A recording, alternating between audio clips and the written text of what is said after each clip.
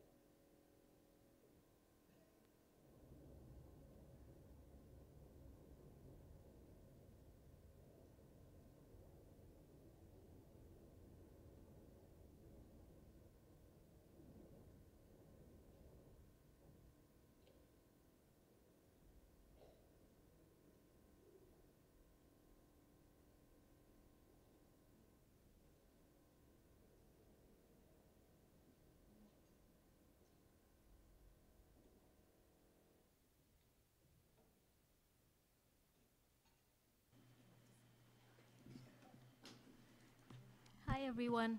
Um, we'll just uh, get going. We were waiting for one speaker, but we assume with the distance between rooms, he might show up in a second. Um, so we've got a really, really great panel, and I think this sort of started out of our fear that all of the narratives start with Terminator and end with Terminator. And we were getting really bored of seeing really old science fiction dystopias inform the way we discuss AI. And we felt a lot of it didn't even make sense in a lot of Asia, where although they may have watched the same movies, their interaction and relationship with that kind of pop culture is sort of one level removed from local pop culture, which actually, given that a lot of Western culture derives from Japanese anime and all kinds of other imaginations of robots and futures and utopias, we actually thought it didn't make a lot of sense to just keep on and on beating the same narratives we hear everywhere else. Um, so we started working on this. Um, last year, and we were really interested in making it a very interdisciplinary conversation because, as you can imagine, in Asia, technology drives a lot of the conversation around new technology. Um, it's the techies that actually have a stranglehold on the conversation. Policymakers kind of come second, whether they do or don't understand the technology, and everyone else, especially the humanities, come way, way behind. So we really set out to change that. Um, so we've got a great bunch of people who are going to help us sort of unpack those kinds of tropes and storytelling. Um, so I'm going to start from the other end. We have Jack, who runs the Women's Rights Program at APC, based out of Malaysia.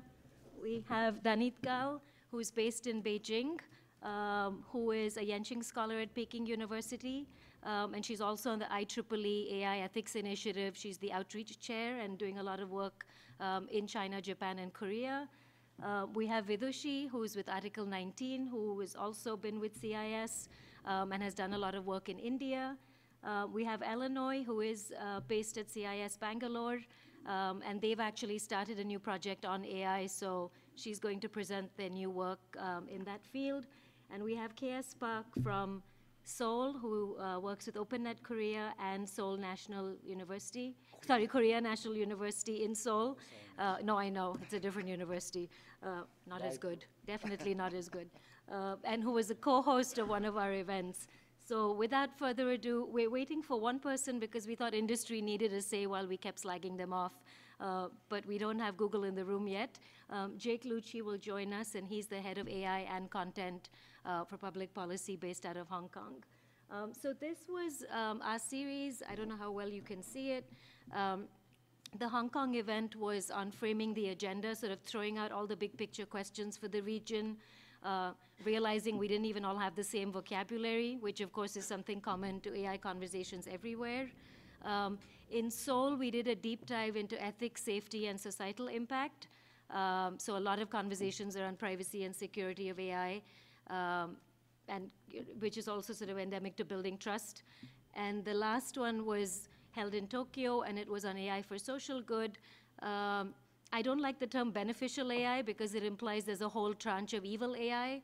So all the AI for good, beneficial AI, I feel it's unnecessary. We don't do that with any other technology. Say it's copyright for good. Of course, we know there's copyright for evil, but we don't feel the need to keep saying it. So that, you know, what is it about AI that we feel the need to keep telling people, no, no, it's really good.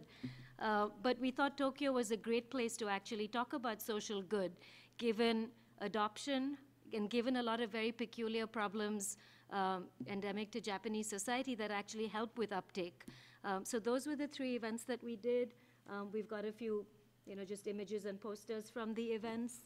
Um, and we also had a pop-up art show in Hong Kong, uh, partly because I really believe you can't have conversations about anything new without looking at how artists, writers uh, are actually viewing the world, what they've seen way before law and policy catch up. So we had a pop-up art show on works created using artificial intelligence, as well as works critiquing artificial intelligence. So, you know, things looking at the trolley problem, playing with the moral machine game, um, looking at how Hong Kong actually used DNA um, samples from cups and other things to regenerate using AI faces of the people, and it was called the Face of Litter campaign, you know, sort of a very powerful way of saying these are the awful people that we need to ostracize in society because they littered. And you know, how accurate or inaccurate were the images generated by machine learning.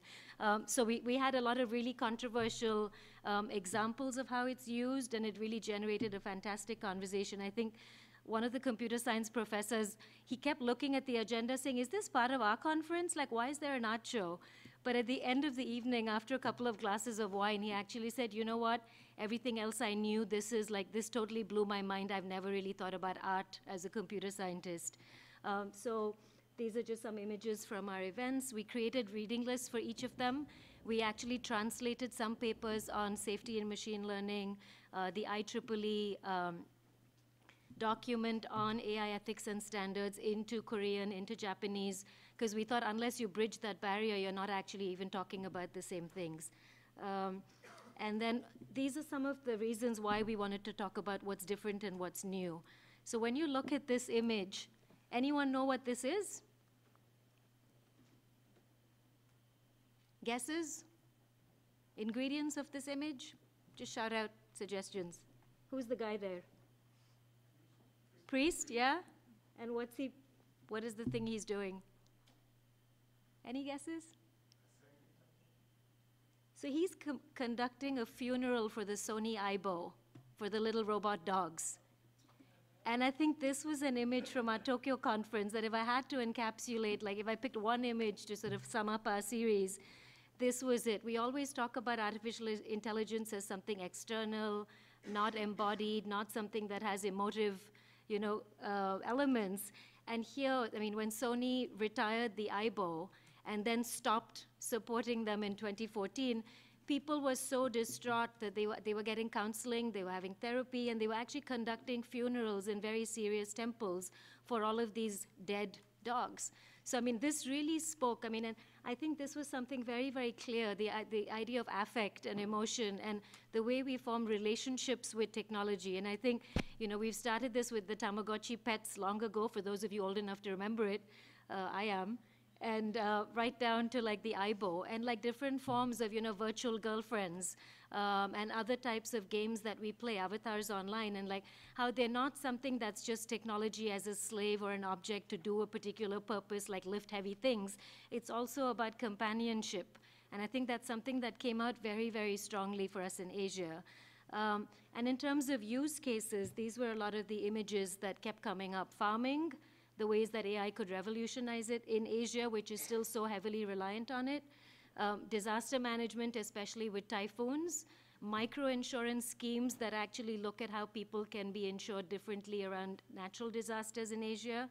Um, the idea of rote learning in places like China and a lot of Asia actually, how AI could actually disrupt education and provide more humane ways of people you know, learning at their own pace uh, in ways that are personalized and tailored. Um, and this is one of my favorite images. This woman is a hero. I mean, she's such a rock star.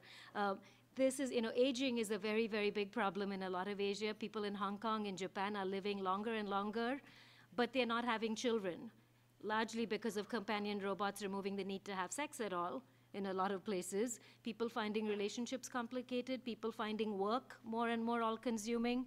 Um, so we have aging populations that don't have children and grandchildren who are going to look after them. So we, one term we kept hearing in our conversations was around the idea of AI being a solution to missing workforces. And someone in our Tokyo conference said something deeply politically incorrect that as any outsider would have felt very embarrassed to say it, but he was Japanese and he said it. Um, he said, you know why we feel comfortable with the idea of AI and domestic sensors and robots? We really don't want immigrants. We don't want foreigners. We would rather trust someone that, even through machine learning and translation, can speak Japanese and embody our cultures and values than actually have immigrants come and perform jobs that we no longer have people to do. Um, and it was a really polarizing comment. People said, I can't believe you actually said that out loud. And he said, it's true. You know, we're a very homogenous society. We're not used to outsiders. We're bad with languages. So it's much easier for us to imagine a companion at home that's a neutral uh, machine than to imagine people that we may or may not get along with or understand or feel, you know, resonate with our own culture. Um, so that was like a real, you know, eureka moment for a lot of us. Um, and in terms of responses to some of these problems of aging, disaster, um, these were some of the examples that came up of how with a lot of crops and disease, AI can actually help diagnose what are problems with plants in remote areas and actually, you know, you take the image, you send it, it actually analyzes what blight or what sort of crop damage is occurring with rice plants. Um, this was a great startup in Myanmar called Bindez, which actually wants to provide more local content in the Burmese language and actually sort of be a solution where Google search might fail, uh, and it's not meant as a replacement because they'll never be as big as Google or as ubiquitous or as good. But they were saying maybe we'll, you know, we'll fill a local niche in local content. And they've now partnered with um, one of the local news providers to actually provide and translate news into the Burmese language and make it more local, you know, hyper local in a lot of ways for what people need. Um, and this was sort of the Pepper robot goes to school and not just goes to school to help people, but actually goes to school to get educated as a student. Um, but also you can see like all of the older people in the school are thrilled to have this robot to play with and engage with.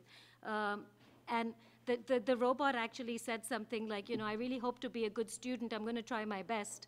Um, so there are lots of these ways in which they're invading the classroom, the farming spaces, where we look at disasters. So there were a lot of really positive use cases that came up.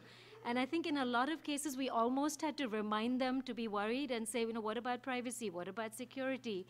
And I think there was this sort of real, it wasn't so much hubris that the technology would work. I think it was this genuine desire for it to work, but also this sense that Somebody else will fix that. We're just going to keep producing the tech. There'll be a lawyer somewhere, there'll be an ethicist, a philosopher. And actually, in our Korea conference, um, our dinner keynote was this wonderful keynote about living with other intelligences, um, where the speaker said, Well, we've actually lived with all kinds of other intelligences in this region, with spirits, spirit animals, with gods and goddesses that have personalities. The idea of AI having a personality or, you know, machine learning, or Siri or her, as we've seen in the movies, um, that's not really unusual. It's just sort of along that whole trajectory, we don't find them alien. Um, so these are just some of the learnings. We're going to produce a report that actually summarizes a lot of the really rich content. Um, I can't really read it here, so I don't expect you can. Um, I'll just tell you very, very quickly um, some of them. Um, things like um, the effects on labor might be very different, making some jobs and workers redundant and creating and modifying other jobs, which might be very, very different in Asia, given the nature of labor markets. The informal uh, gig economy having completely different uh, sort of structures in uh, Asia, uh, the idea of mobility, and different cultural contexts of polity and trust. Um, there's a lot of great work in Japan on um, uh, policies like the tentative AI R&D guidelines presented at the G7 and the OECD meetings, and that was a great use case of how Japan had said, instead of just formulating national policy, why don't we actually take it to an international forum so that whatever we do in the region is already embedded in international processes and structures? Um, and it was a very detailed policy framework. Um, in terms of education and learning, um, we talked about how we increasingly need to rely on humans to provide different skills than the easily automatable. Creativity, subjective reasoning, imagination, storytelling, uh, all of which are not as strong in a lot of Asian countries that rely on rote learning, um, and how we need to develop different areas of cognitive functioning. Uh, then the idea of capability augmentation came up. I think there's less fear about displacement and a lot of openness to working with AI as opposed to AI being a worker instead of us, um, and all the different ways that can help. Um, tensions between innovation and safety in countries that look to technology like AI to leapfrog various stages of development and see it as a way that they can actually excel. And I'm going to call on Danit to actually talk about this sort of, you know, the way the media frames it as a sort of AI arms race between the US and China, and how China has overtaken the US in terms of filing patents in AI and in many other ways. So Danit will talk about that. Um, we also talked about when ethics get encoded and who actually create, you know, what cultural values are embedded in the technology. And there was a lot of actual hope about law, not just as a constraint, but as an actual enabler, saying, can governments and policymakers set good incentives for the law to actually make AI actually realize the potential for good and minimize harm in many ways? Um, and a very, very strong undercurrent through all of our conferences was the idea of engaging the underrepresented. And there'll be others who'll talk about how the training data sets on which a lot of machine learning applications are um, developing are not necessarily representative data sets. And there are many, many reasons for that, including the fact that a lot of Asians are not actively engaging in the activities of data production. They are not actually producing data about themselves. And I think for me, this is a particular sort of paradox where damned if you do, damned if you don't. You're excluded if you don't participate in the data. You're also excluded if you participate and it reinforces and amplifies existing social inequalities. So, you know, we, we, which way do you go? Um, so I'm just going to stop here. Um, I've got a couple more slides, but I'll just actually go to the last one to say what we're doing next in this space in case you want to engage. I mean, those are pictures of black boxes and flight recorders, um, which are very endemic also in the way we talk about it in Asia. These are the sort of keyword takeaways that came out, the idea of context, culture, which are the actors involved, uh, what are the processes and means by which we regulate or don't regulate AI, the concept of ownership and stewardship, um, especially the idea of control and consent, which I think, you know, we're seeing that consent doesn't work, but it particularly doesn't work when a lot of it is ambient intelligence being gathered without the opportunity to say, don't put me in this data gathering exercise. Um, the idea of collaboration and community, because the problems that AI is being used in service of seems so intractable without algorithms that can actually do this at scale that I think that does shift the debate in a lot of developing emerging economies. Um, the idea of sustainability, I think, also came up in our conference a lot. And finally, diversity. So on the last slide, some next steps, we're going to be doing a set of AI case studies, specifically looking at use cases in Asia. Uh, we're going to do a call for papers for people who'd like to actually contribute to this collection. Um, a- a companion volume, which is sort of the more fun end of it, is a sort of set of essays on AI futures, specifically coming up with non-Western ways of imagining the future with AI, you know, building on a lot of local storytelling and dreams and myths and gods and goddesses and all the things I mentioned before uh, from Asian pop culture.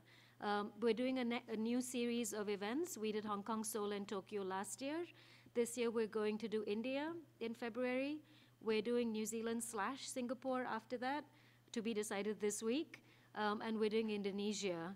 And Indonesia will spend a lot more time looking at issues of content and the ways in which automation can actually help or make hate speech um, and radicalization better or worse. Uh, so open questions there. And then we're doing an AI cookbook, sort of recipes for what good AI policy looks like. Um, again, one sort of way of demystifying the vocabulary and using more, you know, grounded ways of talking about it, like a cookbook and recipes um, for people to think about when, you know, you want to use AI. Should you use AI? What can it solve? What is it good at? Where is the technology not there yet?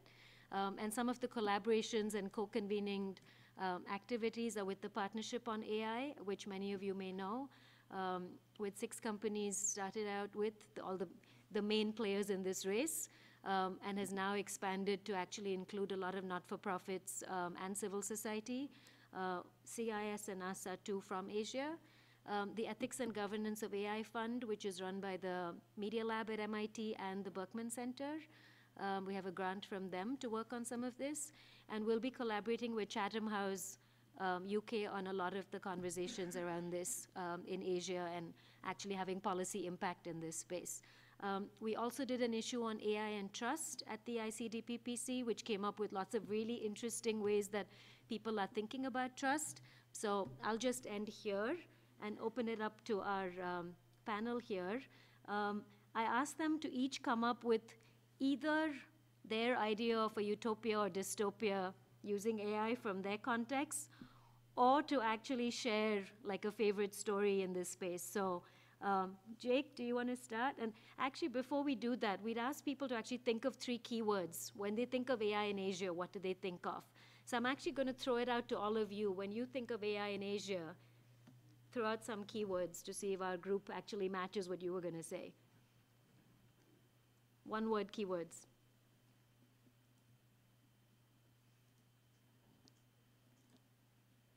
Did someone say big? No.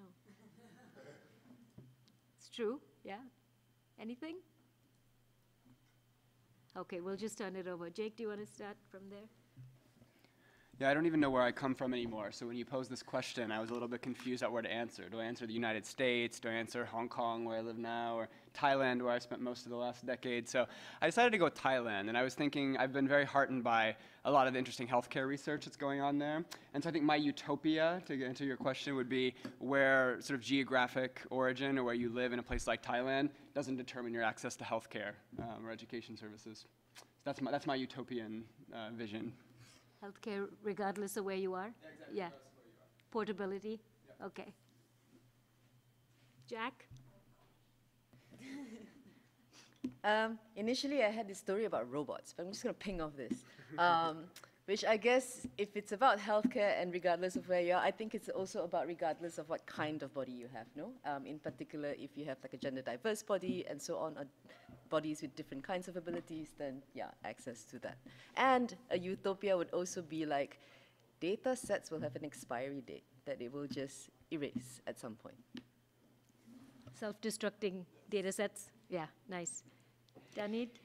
Um, so just building up on the robots, I have a, a, a, favorite story to tell. So in China, there are what you might call babysitting robots. They are toys that look like very famous anime characters, but they have the ability to converse with your child, and they are part caretakers, part friends, part educators, part even sibling um, for kids who are lonely. So this is something that is gaining a lot of traction in China and really helping parents leave their kids alone or with grandparents or with caretakers. I don't know if you've noted this, but there are a lot of stories about abuse in China, about uh, caretakers um, abusing the, the, kids or in kindergartens, and the parents are very much afraid uh, of leaving their kids alone, even with strangers that they think they trust. So this is kind of a solution for parents who are able to go out and work but still have access to what the kid is doing and even can teach them English um, for a lower price, which is something that the parents are very passionate about.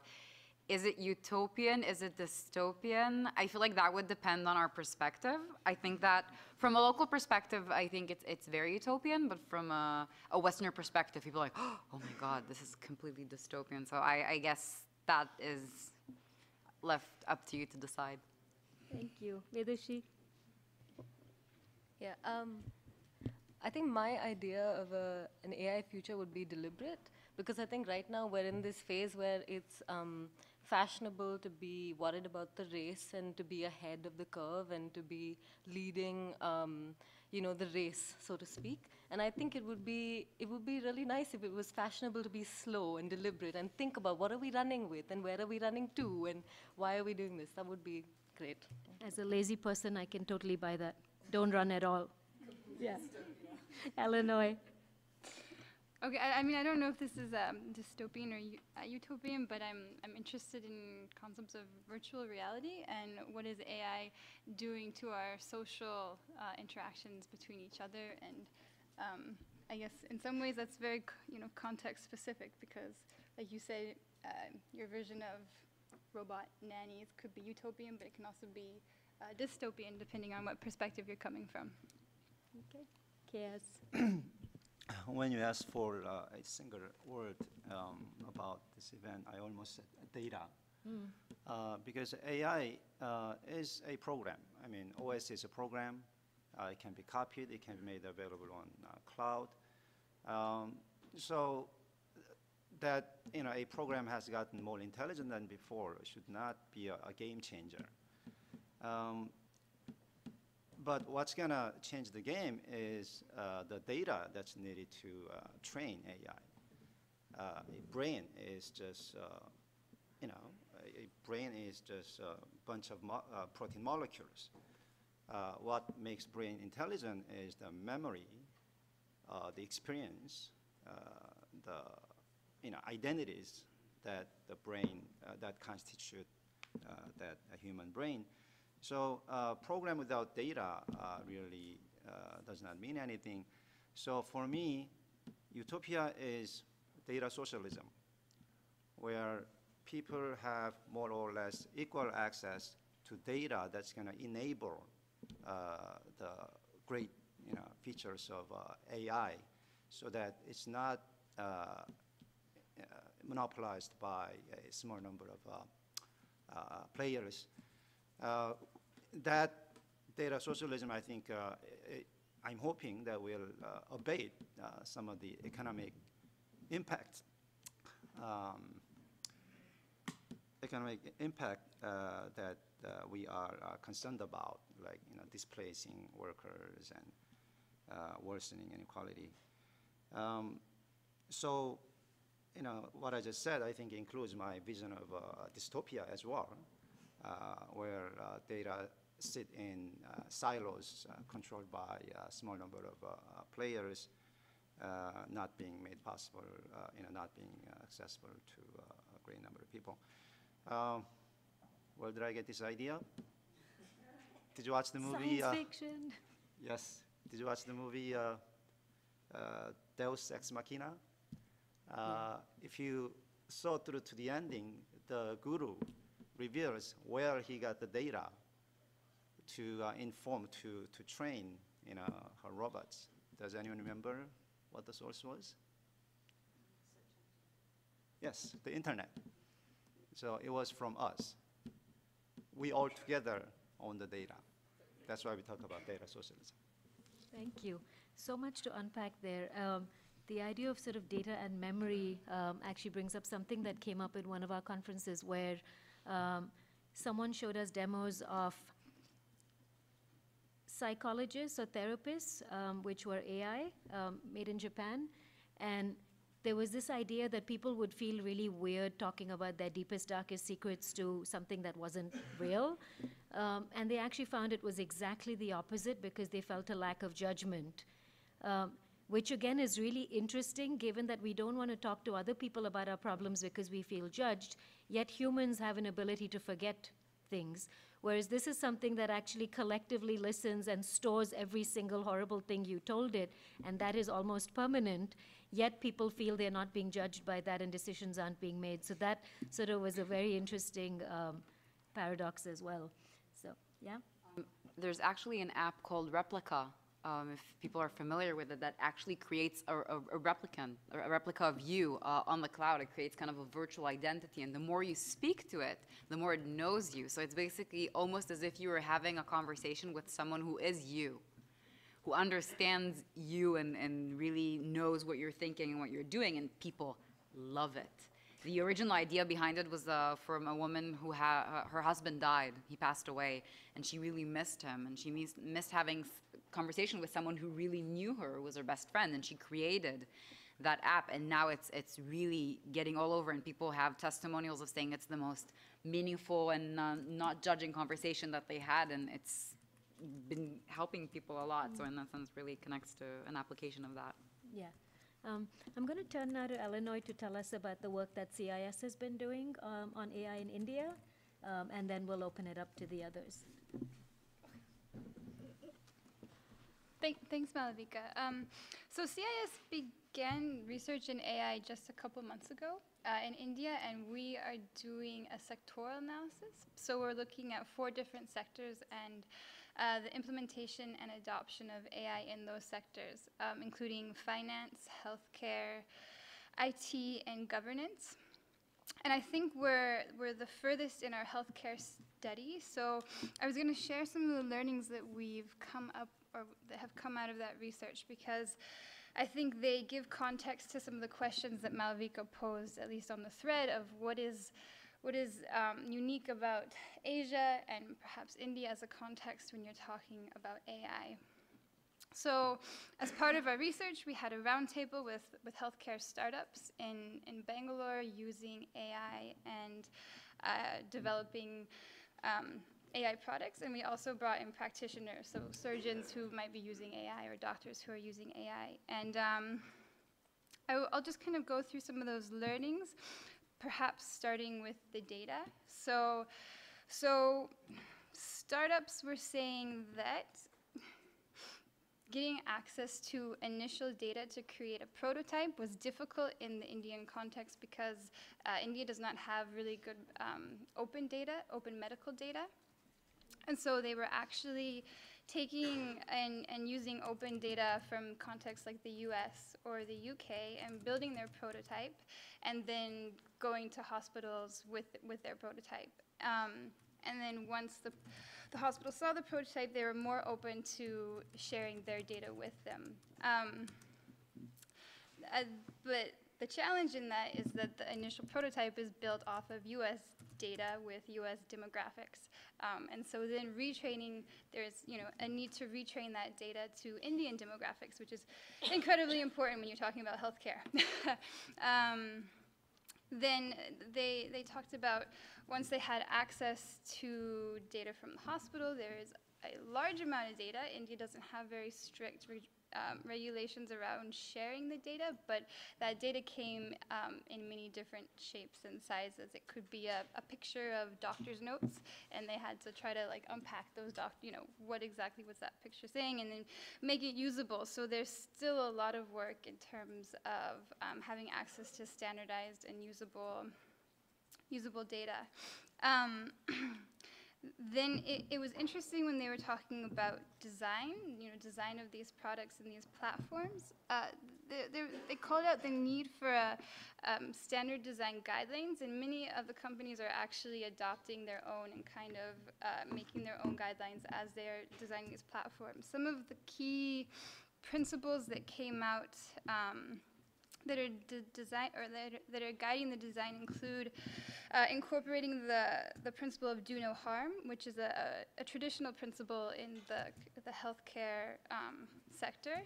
Uh, a strong emphasis on choice and consent for the the user. That the compliance is on the data controller, so regulatory compliance always rests with the data controller. Um, that the the services should always augment and should never take over the position of a, practitioner. So they were not aiming and were not and in you know the present creating systems that were autonomous and making autonomous decisions for doctors. Um, and one way that they're addressing the, the privacy question is to just not use identifying information. So they might use personal data, but it's not identified, um, or you can't link it to a person. Um, and then last of all is that promoting human-to-human interaction through um, their, their services. So one example was of a, a, an app, or it was a chat bot that, that worked with um, individuals with a mental, mental health um, um, perhaps depression. And so the idea was that the chatbot would help to guide the person to a practitioner that could, could then assist them. Um, in, in terms of, you know, when we talk to them about what are challenges that they're facing in, in adoption of their services, uh, one, one big one that came up was that when they go to hospitals or doctors with their product, often they're asked for proof of a clinical trial, um, which is a little more traditionally something that you find around drugs and kind of drug testing and is not an appropriate standard for uh, mobile or health or medical devices. Um, and that said, they found uh, or they identified a regulatory gap on medical devices, but I think India is considering filling this as there's some draft rules coming out in 2018. And then they also found a knowledge gap between uh, with with doctors and their ability to use use the systems um, that were they were designing. Um, in, when we discussed implementation, it, it, was interesting actually, specifically with the example of the chatbot bot that worked with um, different patients from different, uh, you know, a, a mental background. Uh, they actually found that the chatbot was very empathetic. Um, so when they were taking user feedback, a lot of the feedback was that it's a very empathetic service and they uh, prefer using that service versus trying to talk to, you know, a family member about uh, what they're going through. Um, it was also interesting around questions of liability. The doctors were saying at this point, at least, the systems are making them more liable because, um, so if it's used for monitoring a patient, they have AI working in a system that's monitoring a patient, uh, and they're getting real-time updates on their phone, and they have to recognize that they're getting those updates on the phone. Uh, they no longer can say, like, the nurse forgot to tell me, or I somehow missed this, but there's, you know, very clear accountability on if they have that information and if they reacted to that, that information. Um, and generally, uh, I think that there was a consensus that the, the tools and the services that are coming out are assisting doctors, and this kind of aligned with the uh, research we did just around news items and, and different reports around the use of AI in the health sector in India, in that it is, um, those, those reports are very positive, and that it's going to help reach, you know, a number of different patients that are not reached right now. Um, and it's interesting because it's a different narrative that, than that, that we see, for example, in the IT sector in India, where a lot of the news items are about how AI is going to displace jobs. Um, this was, you know, in the health sector, it's, it's a very positive narrative. Um, so those are some of our, our key learnings from the research, and maybe I'll did, did you find that um, doctors actually saw this as competition in some way? That they didn't want to engage because they thought this was going to do their job better? At least not with not with the participants. Okay. Um, from well, not not with the participants at the roundtable. I think we've seen um, news items that might interview a doctor who initially might think it's competition, and then after they've adapted adopted the service, they realize that it, it augments their job rather than replaces their job. Thank you. Um, KS, will you go uh, next? So this is a, I mean, AI in Asia seminar. Uh, so I'm gonna uh, talk about, I'm gonna talk from the experience of having hosted uh, Seoul seminar on AI exactly, uh, what, year ago now? Yeah, uh, about the same time year ago. I'm kind of a, split in between because uh, I mean, the reason we have, uh, you know, this event, IGF, is because UN uh, thought that, you know, internet is a, great equalizer, a great liberator, uh, giving powerless people the same you know, voice, power of information to agent, uh, the, the, the, same as uh, governments and companies. Um, now, AI also, I think, has a potential of being a great equalizer and uh, liberator.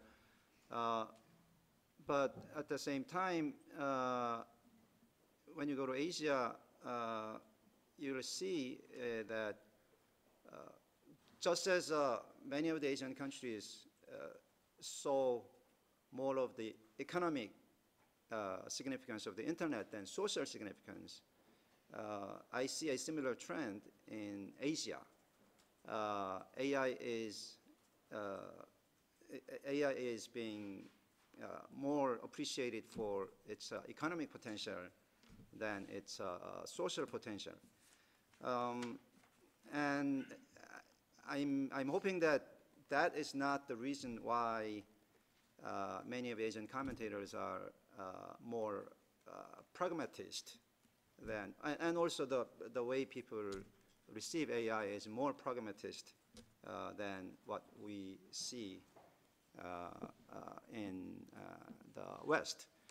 Um, so, I mean, one uh, title uh, from the uh, one uh, one title from the uh, Seoul seminar was uh, "Safety of AI" or "AI for Safety." Uh, so what the uh, what the presenter was trying to make a point is that there are too many people talking about whether AI is safe, when AI can be used to make other things uh, safer. Um, and, you know, in large part, I also agree with him, but I don't want that to be part of this trend where uh, Asian countries see, uh, focus too much on the economic potential of AI as opposed to uh, social uh, potential. Uh, and it is uh, really important for Asian countries because um, the social welfare system is not as well developed uh, in, uh, for instance, uh, Europe.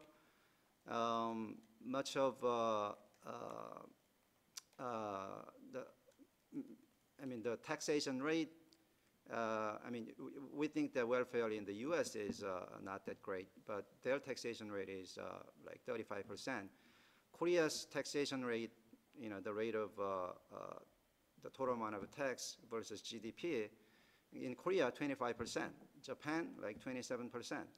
Uh, the social welfare uh, safety net provided by the government is not that uh, great uh, compared to, uh, for instance, European standard.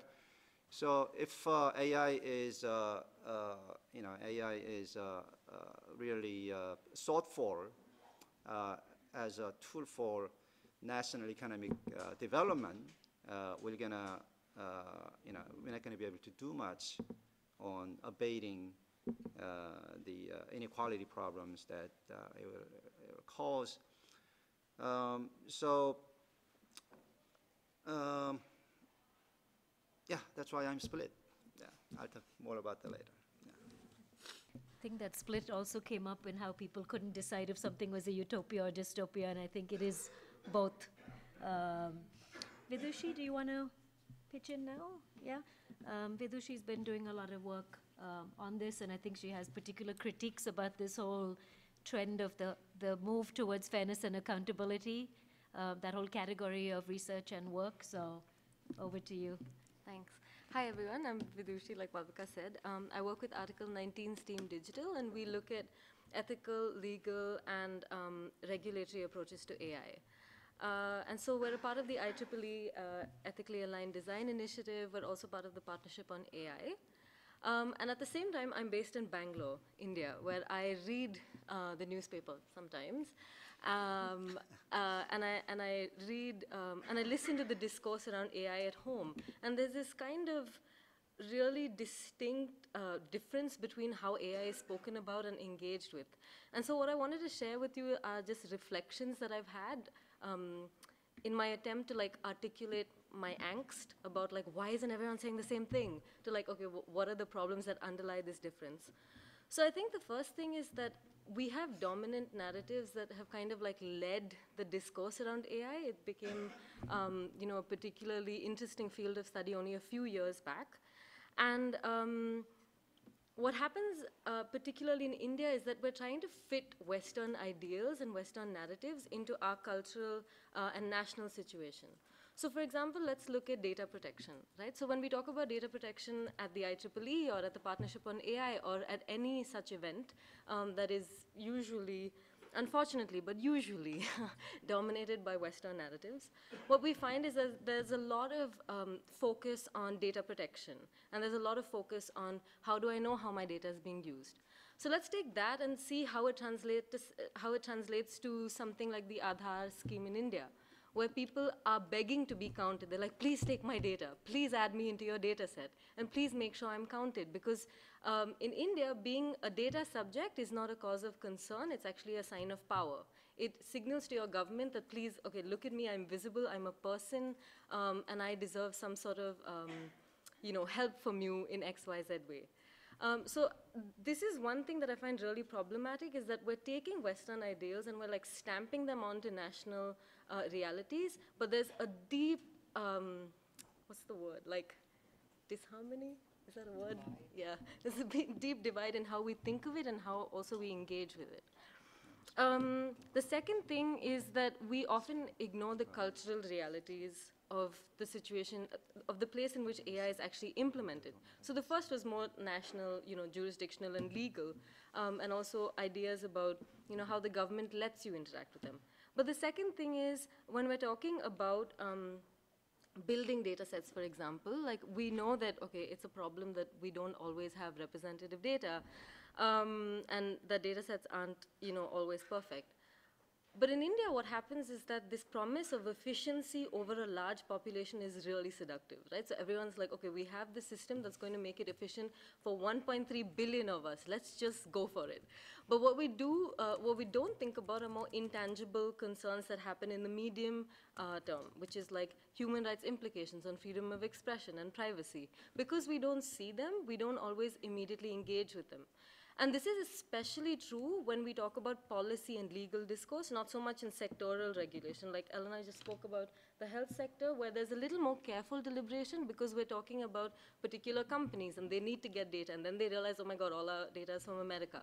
But when, as legal and uh, policy communities, I feel like we often um, talk in really broad terms, which ends up being really destructive to what we actually want to do. Um, so what often happens is that we have really accurate answers, but we've asked all the wrong questions. Right? And so then we say, okay, uh, we don't fully understand why, um, you know, uh, now let me think of an example. So in the US, you have critical sectors, right? So you have actual regulation and they're very strict about uh, what you ca can or can't do with respect to data. But in India, we don't even have data protection law except for two uh, particular sections in the IT Act, right? So we don't have an omnibus privacy law. And on top of that, we think of a situation where um, it's being deployed in a way that is less critical than, say, in the West. And that, that's another really uncomfortable situation that we find ourselves in often, uh, especially at the legal. I, I, just want to clarify, I'm not saying that we're not thinking about it at all. Uh, maybe we are in the sectoral sense, but not so much in the legal um, and a broader legal sense. And the last thing is, uh, as Malvika said, I'm really critical of this idea of transparency and fairness as this thing that's going to save us all and make all our AI futures utopian because I feel like it's a very complex and loaded term. So when we talk about transparency, usually transparency is, um, it indicates like a, a, vertical relationship with a state and a citizen. So you owe me an explanation of, uh, you know, how you're governing me. And uh, there are some constitutional legal frameworks that apply to that particular relationship. And when we try to translate that, that vertical relationship onto horizontal relationships, what we find is that transparency doesn't always work with um, companies, and I'm sure Jake can tell us more about the challenges that you face on a day-to-day -day basis, because we can't hold them to the same standard. We shouldn't hold democratically elected governments to the same standard as we hold private companies. But that, um, that level of granularity is, is really missing, um, especially in India, but I also think around the world. I think I feel it more because I live in India, but definitely around the world. Um, and also, when it comes to machine learning, transparency can give us very little because, by definition, machine learning recreates rules with time. And so even if we have the algorithm, we need the data. and if we don't have the data, um, you know, transparency means very little. It doesn't help us achieve fairness, and it definitely doesn't help us achieve accountability. And, and I realize this is a really interesting um, and very, very popular uh, area of study within academic circles. But what I find really problematic is that we're not thinking of it in as um, deep and as critical terms when we're actually implementing AI, and definitely not when we're thinking of um, developing AI. And so these are a, a few um, insights that I think uh, we need to think about going forward because as it's easy to talk about, um, you know, we want, we shouldn't deploy AI unless it's fair. But we don't know what fair means. We don't know how to articulate fair in legal terms. And we definitely don't know how to use the word fair in a way that makes sense to the person deploying uh, and developing the AI. So I think these are some challenges we should think about going forward. Thank you. Um, some of you may have seen this great um, tweet storm from uh, Professor Arvind Narayanan at Princeton CITP, where he was saying lawyers are very used to dealing with ideas of fair and equitable. Computer scientists are not. And if you want them to program fairness, there needs to be a shared common standard or understanding. And he said when they actually looked at it in a conference, there were 21 standards of fairness which legal systems are completely comfortable with working around. And, you know, we're used to different jurisdictions, we're used to different uh, systems of law, civil law, common law, we're used to this. But he said, as a computer scientist, if you want me to program and actually action something, I can't work with 21 definitions of fairness. Like, what does that even look like? And I think a lot of humanities people on the thread sort of push back, saying, well, it's sort of like saying there is one internet. There are many internets. You know, there are many ways of looking at this. So it, it, it isn't as intractable a problem, but I think it's, it kind of gets to what you're saying as well, this sort of definitional and implementation challenge when it comes to very abstract ideas of fairness and equity. Um, thank you. Um, I'm going to ask Danit to actually talk. I mean, China is the big, uh, big success story in this field. Uh, and again, I think it also raises the sort of utopian dystopian uh, paradox that we're coming across. So tell us about all the recent trends or what you're working on in China? Um, so obviously, I don't know if you can tell, but I'm not Chinese. I'm based in China, and China is obviously a very, very big country. And they have a pretty fragmented market in the sense that there are so many development, developments in so many areas, but then again, they do have a common thread.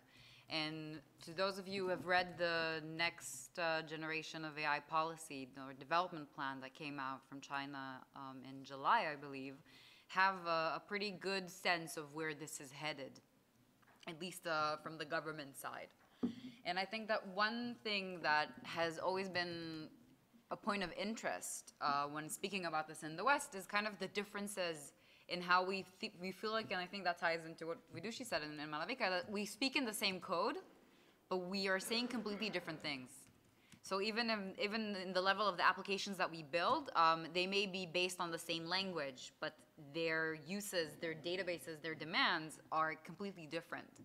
And what I kind of sense is that we're getting to a point where we are going to see a pretty serious divergence in technology, where a certain applications of machine learning and other AI kind of technology are going to be used for certain things. And if there's one thing that I think we all know is that there's a cycle in the sense that humans create technology, but technology also creates the way that we behave as humans. And this kind of reinforcing cycle is going to lead us to a point where we're going to start seeing technology that is completely different. Even though if you open the code, you might be speaking in the same language. So, I mean, I think that there are very strong themes in China in terms of healthcare, in terms of infrastructure. Um, Alibaba has been doing some pretty great work in, in smart cities. Tencent is going into healthcare and, and really helping make uh, healthcare services more accessible. Baidu is going to autonomous vehicles.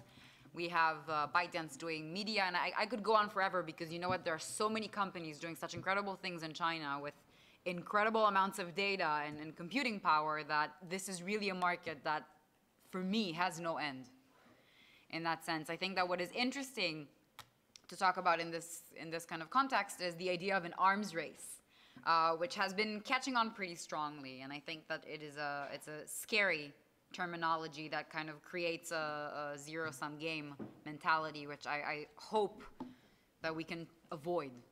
In that sense of winner takes it all, and there are only two very powerful, powerful countries that kind of broadcast. Because if we look at the U.S., we say, okay, the U.S. is home to all the really big multinational corporations that have all these amazing technologies and are basically going around the world and providing a lot of services.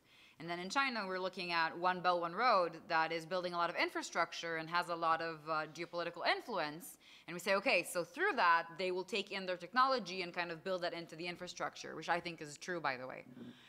So we're kind of tempted to see this in a very binary sense. And I think that that is also the, prob- the problem with programming, right? Because it's like true or false, zero or one, China or the US. It's very tempting to think about it because it really simplifies the way we look at the application of AI. But I would strongly urge you against it. And I think that a panel called AI in Asia is perhaps the best way to do that, to really show the difference in, in the countries and in the applications that they, they want and they need and they have and how they treat data and how they think about development of AI. There is so much diversity to be discussed, and I really think reducing it to kind of China versus US is in a way efficient.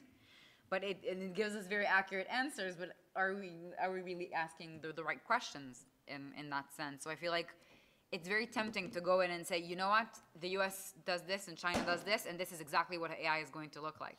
But I really don't think that is the case because even if we provide these kind of services, and I think Jay could really speak about that, Google provides the same structure or the same services that are based on the same code, but they are used in completely different ways and are applied in completely different ways within countries. So I feel like if there's one takeaway that I would like to give you, is that the technology may be the same, but the people using it are different. And this kind of difference is going to continue translating into a technology that is going to be different, even in the level of design. Thanks, Danit. Um, I think Google is interesting in all kinds of ways because I think, you know, it, it, it, it does represent one fear that people have that this is a game that only the really big companies can play just because of the amount, the volume of data that they have. So it's very hard for a new startup to get into this space and make impact. But I think on the other hand, Google has something like TensorFlow, which actually allows people to use it in an open source manner and say, here's a tool. All of you can play at this AI game too. So I think that's another sort of paradox we see where you're very big, but you're also making a lot of your tools and increasingly your research um, also available on, you know, safety um, in machine learning. So over to you if you want to share what you're working on in Asia and where you see the challenges and opportunities.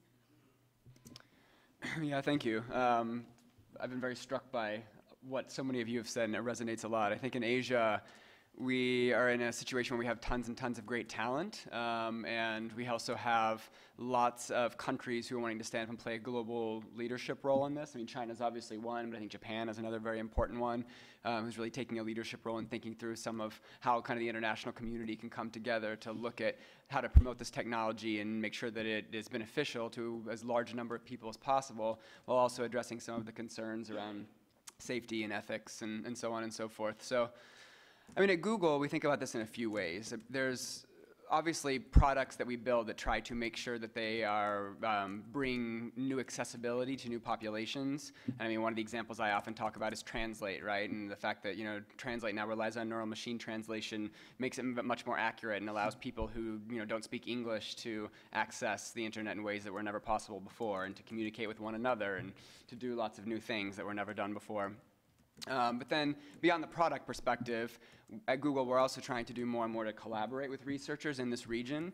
Um, so for example, we often talk about this uh, case of us collaborating with Indian researchers to be able to diagnose diabetic retinopathy, um, which is a very treatable disease, um, but that results in blindness for many, many people if it's not caught early. Um, and actually, you, it's relatively easy to diagnose, but if you live in a country like India where many people don't have access to health services, then it's very difficult to ever get that diagnosis. Um, and so we've now been able to work with Indian researchers to use machine learning as a way of uh, diagnosing this problem at scale at very low cost. But then beyond those direct partnerships, uh, there's a lot of, I think, the future here and how we can make sure that the people in Asia can really continue to play a leadership role is by making sure that they then have access to the tools to develop homegrown solutions. And so Malavika mentioned TensorFlow as one of those, um, which is uh, our open source software library that allows people to uh, do machine learning, take any data that they have themselves, and then to use TensorFlow as a way of um, devising machine learning solutions to problems.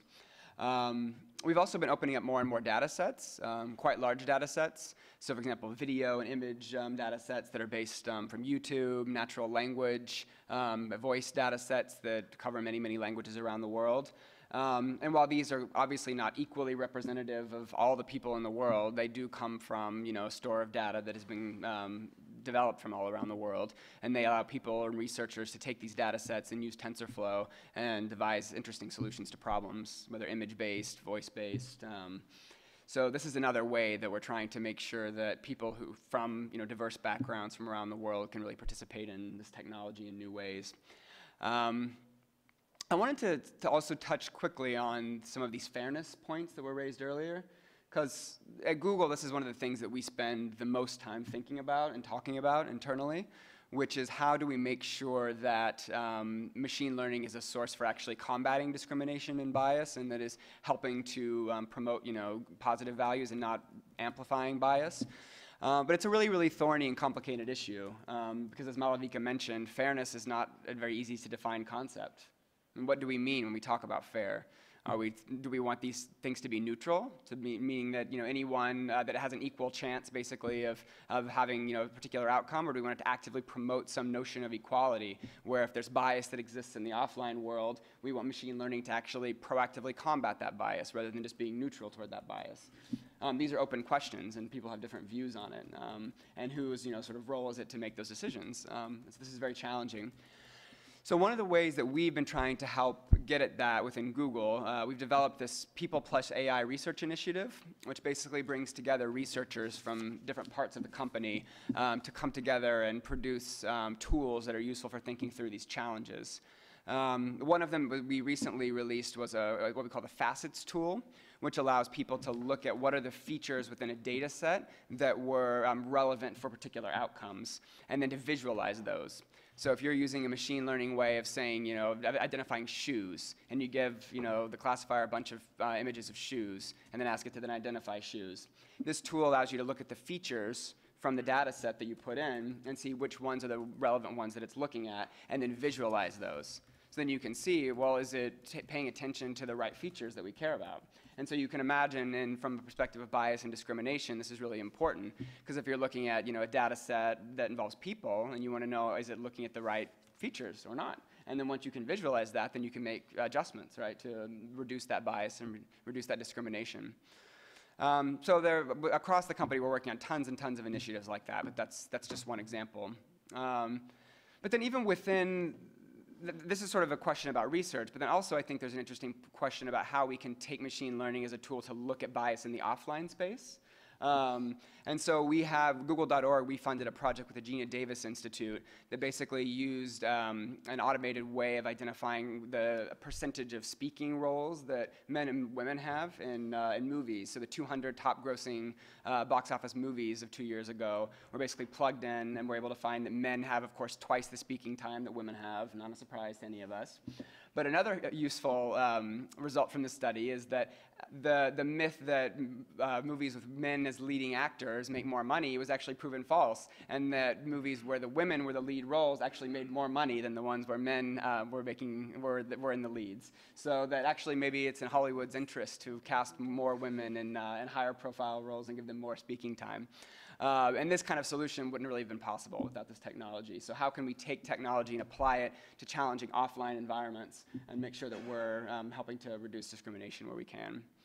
Um, so these are just a few things at top of mind for me, but thanks. Thank you. Um, I know this bias issue is very, very um, fraught, and I know, you know, a lot of platforms have had really bad pushback when they've tried to use automated ways, like when Facebook took down that the famous Napalm Girl picture because it violated their guidelines around pornography. Like, can a computer tell what is art? We can barely tell what is art, right? So I think that was a huge backlash. And then finding images of black people were tagged as gorillas. So I mean, there are so many ways in which these sort of methods of tagging and filtering and autom you know automation actually posing big issues. But I'm glad they're sort of coming out in the research community because I think what, what it really does is hold up a mirror to how biased people are uh, and how humanity offline is actually very biased. So I, it's a, it's a terrible way to do it, but I'm glad it's, it's at least surfaced a conversation around bias. Um, and I think that's a really good point at which to bring in Jac, who does a lot of work around um, women's rights, around gender and sexuality in Asia. Uh, so I wonder, especially responding to Jake or even your own work in the field, um, what does AI in Asia sort of mean for you? Thanks, Malavika. As I'm listening to the whole panel, I just came from a session around gender and access. I feel like I'm existing in parallel universes, no? It's kind of a weird situation where on like 10 minutes before we were talking about trying to deploy um, affordable, accessible, as cheap as possible technology to enable access to disconnected areas, which is still 50%. And then 10 minutes later, we're talking about robotics and machine learning and funerals for dogs and so on and so forth.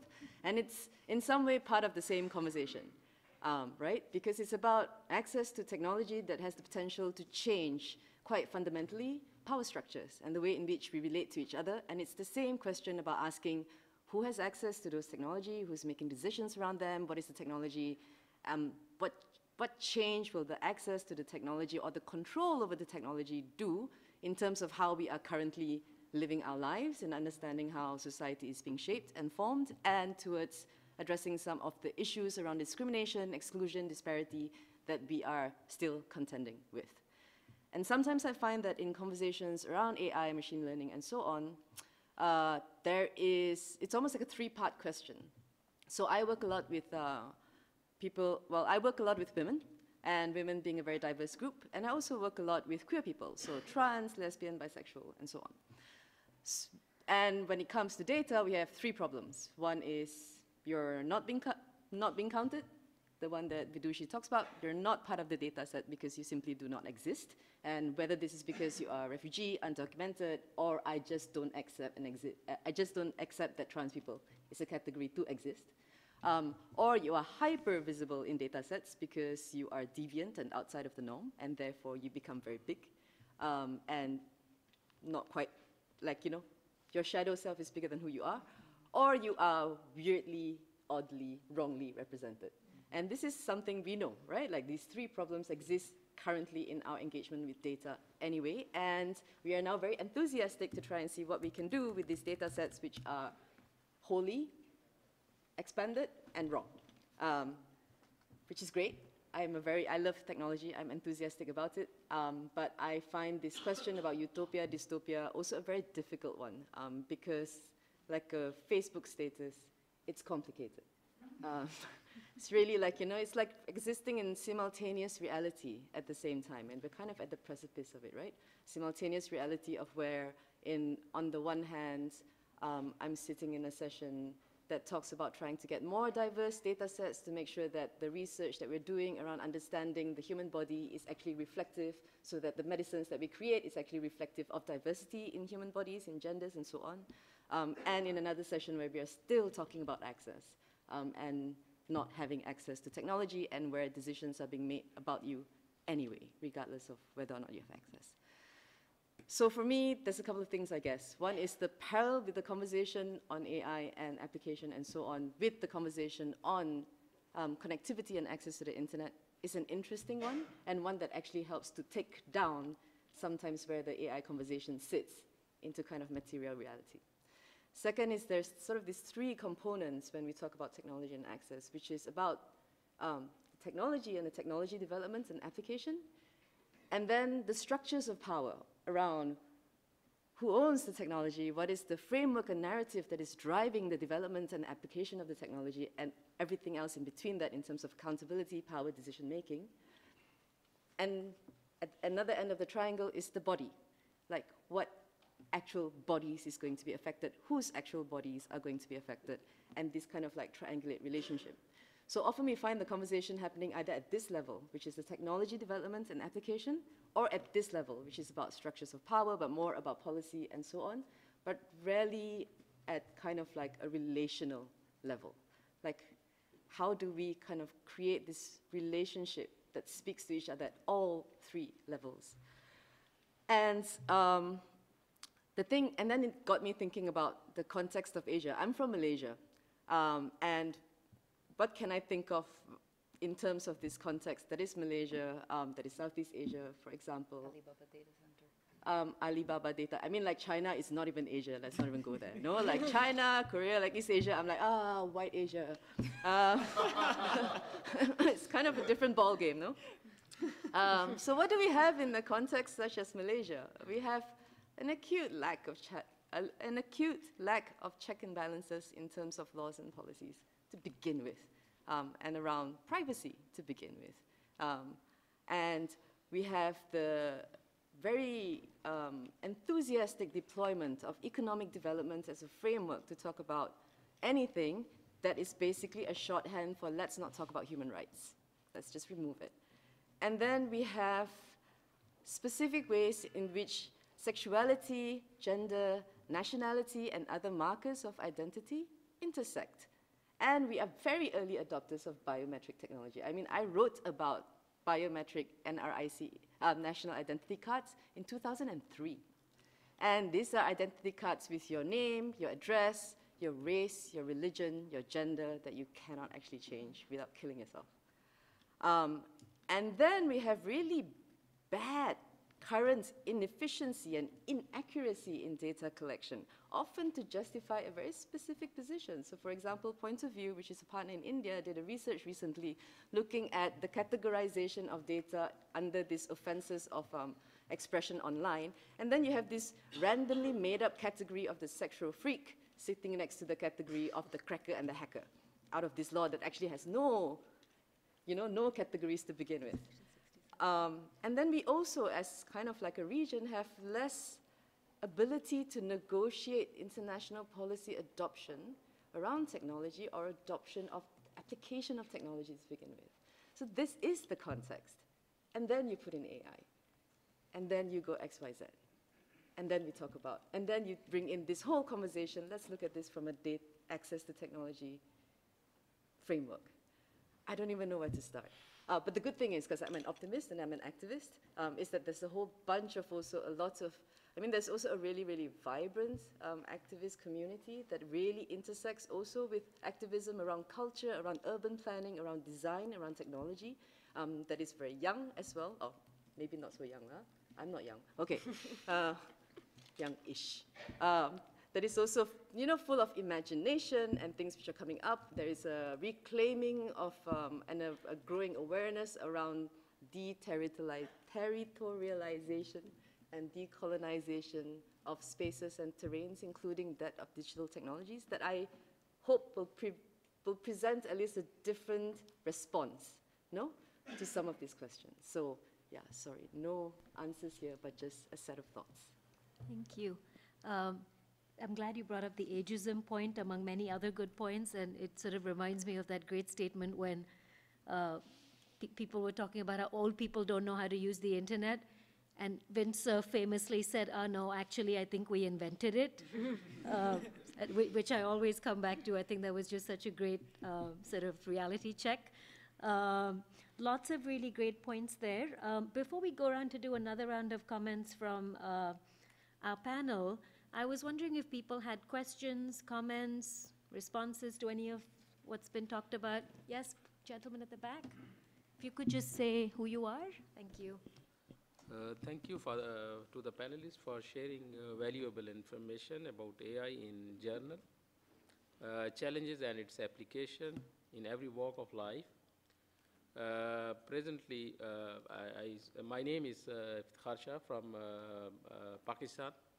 Presently, we have a finalized uh, a draft, a digital Pakistan policy, and included a dedicated uh, chapter on IoTs and artificial intelligence and robotics due to its importance, particularly added uh, policy measures regarding the AI R&D and capacity buildings.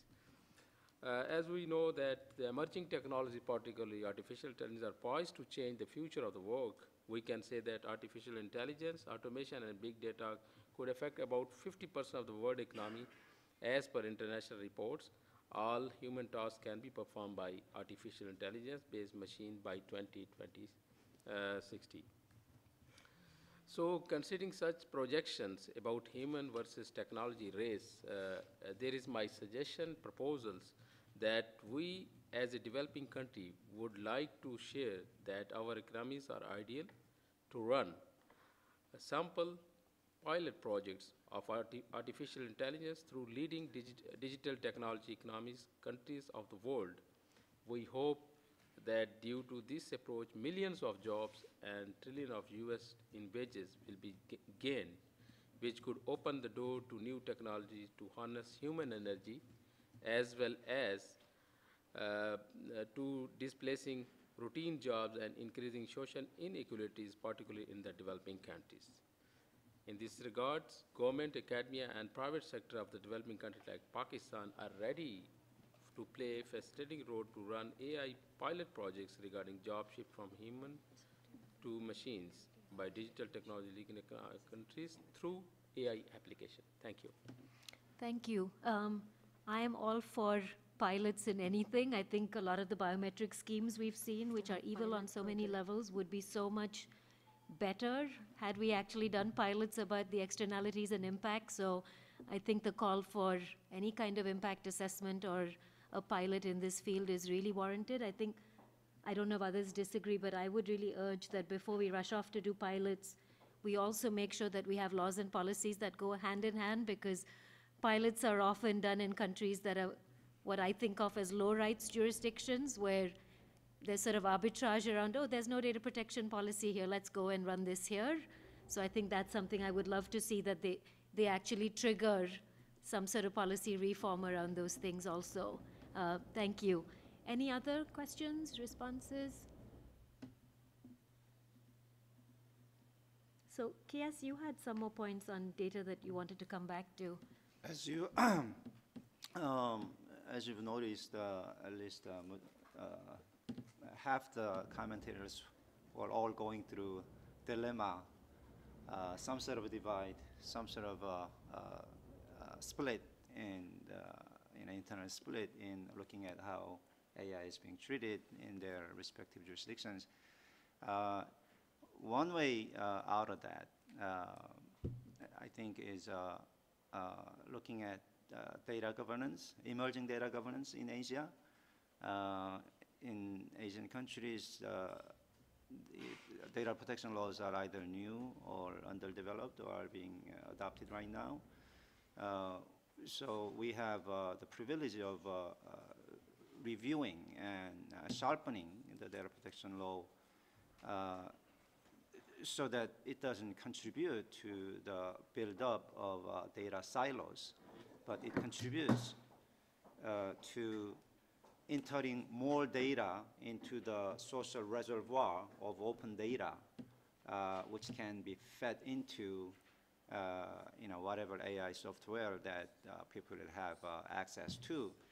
Uh, in, in that regard, uh, if you look at the Indian, you know, uh, Vidush- Vidushi talked about IT Act and a partial, um, okay, where the noise is coming from, uh, partial data protection uh, law within IT Act, and if you look at Section 43A of uh, uh, IT Act, um, it makes exemption for uh, publicly available data. I think that allows, I, I, I- I mean, what is publicly available? Yes, it is a, a contested uh, idea, uh, but uh, still, if you put it there, you know, people will uh, have conversation about what's public or, or not. But at least the discourse will be framed under that. Uh, you know, the discourse will take place under that agreement, so that people will freely access a, a certain amount of uh, uh, data and will be able to uh, benefit uh, from it. Uh, Singapore has the same exception for publicly available data. Uh, Australia, part of Asian Pacific, uh, also has a, very uh, detailed uh, set of exemptions for publicly available data. I mean, privacy, the uh, boundary between private, uh, pri- private and public will change from jurisdiction to jurisdiction. But by having that exemption, we can open up uh, the venue through which open data can flourish, allowing more people to uh, have uh, benefit from AI. So I think that's an opportunity there where uh, we can make sure that AI is not just viewed as uh, you know economic development in Asia, but also uh, you know we make sure that it delivers on its social potential as the uh, internet as the internet has done and as the internet should. Thank you. Um, Any other questions, response? Yes, please. And then the lady in the red at the back. This is uh, Edip Sart from IT Law Institute, Istanbul University from Turkey. I'm a research assistant.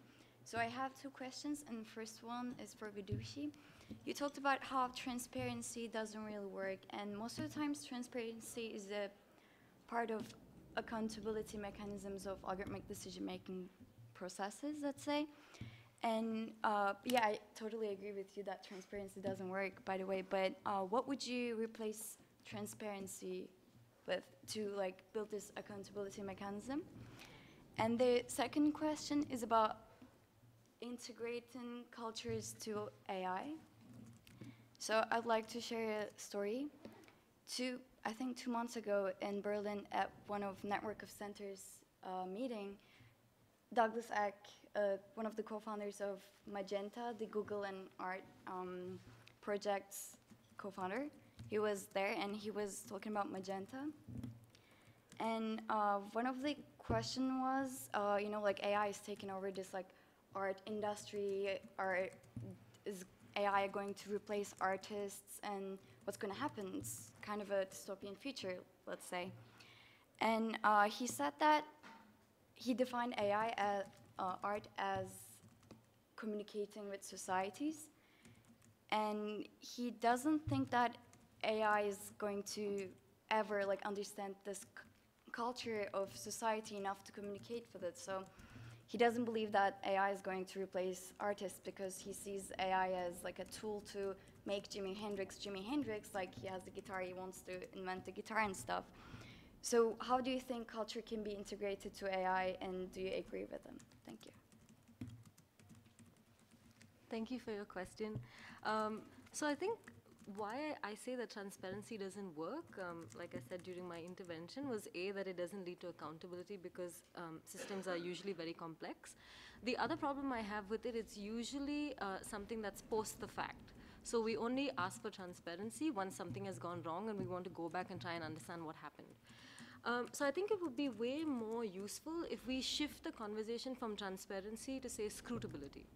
So I say you only deploy and use certain kinds of AI technologies if they are scrutable to the people using them, if you're able to um, explain them. So, and, and you can have different levels of scrutability. So for example, if I'm going to use uh, AI in the judicial system, you have to have a really high level of scrutability, as opposed to using AI to show me what I should watch next, next on Netflix can have a lower level of scrutability.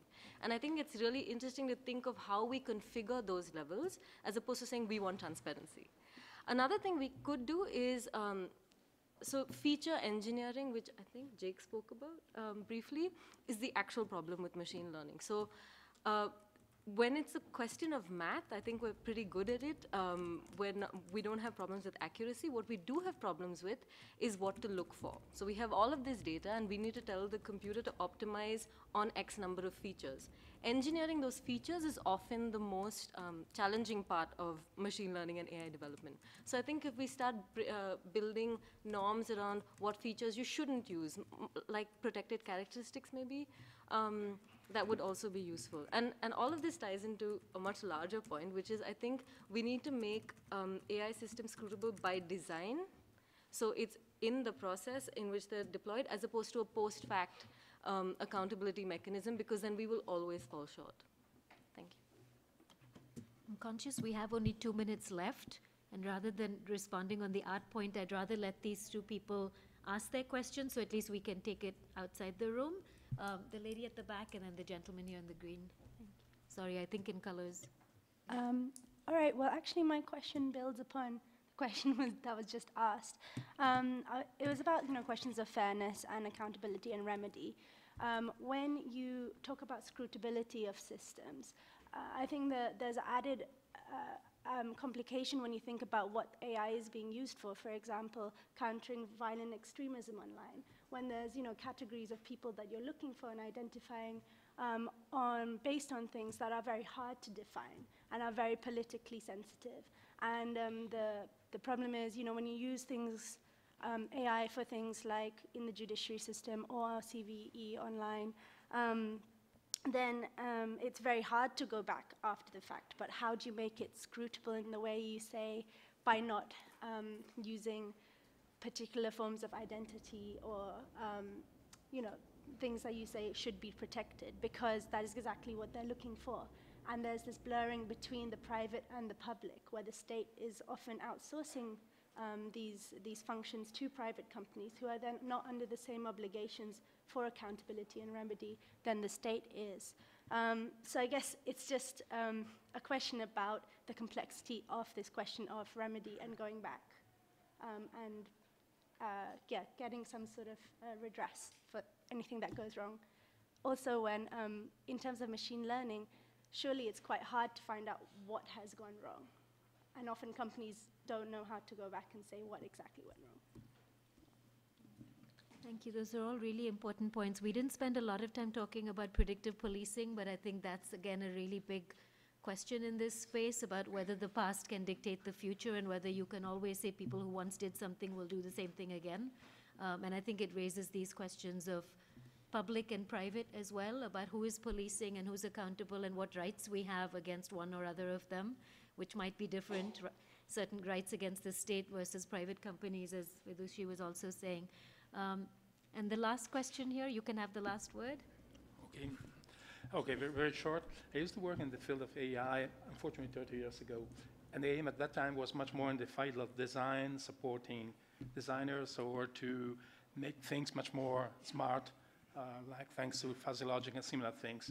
Nowadays, it seems that the, uh, the vision of the future of such kind of AI is much more the creation of some parallel universes, not in the same meaning lady from Malaysia told, but uh, universes created according with the profile that is tailored by big companies or by governments or by opinion leaders in, in the way each of the person will live in specific ad hoc created universe. And this is a little bit the dystopian vision of the future. It's, I mean, it's, it's already uh, working this methodology if you consider uh, the use of uh, search engines that is tailored according to your taste, your uh, behavior, and other things. You receive completely different feedbacks if you check the same, you put the same query on different computers. And this is uh, a little bit concerning me. So my optimistic vision is about the opportunity to take the control about the system or have the choice to decide which kind of future, which kind of, which kind of choices, which kind of decisions we can take without a kind of big brother due to AI piloted by someone else. That's all. Thank you. Um, I think one person's personalization is another person's big brother, and that's again another dichotomy we come up with. Thank you all for being here, and I hope we've given you a small flavor of what's similar, what's different in the way we talk about these things in Asia, and stay in touch with all of us. Uh, thanks very much. Bye.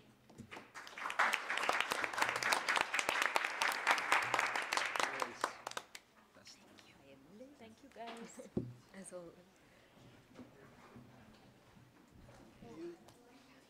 Always. Hey, look at both of us. This is from Ben.